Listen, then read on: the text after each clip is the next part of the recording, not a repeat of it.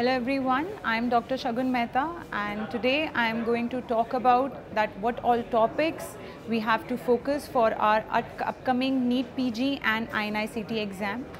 So what I want that everyone should do is that please try to link your basic essence of foundation of pathology with your clinical subjects. So for that I want everyone to focus on systemic pathology, your GI pathology, renal pathology, recent updates on genetic mutations, hematology from anemias to leukemias. So we have to actually focus on the different diseases because according to the latest trend, what we are seeing is that we get various clinical scenario based questions and image based questions. So what we have to do is that we have to make a correct approach for that. So we will try to link our basic foundation of pathology with the clinical scenarios and decoding all the images so that we can get our correct diagnosis.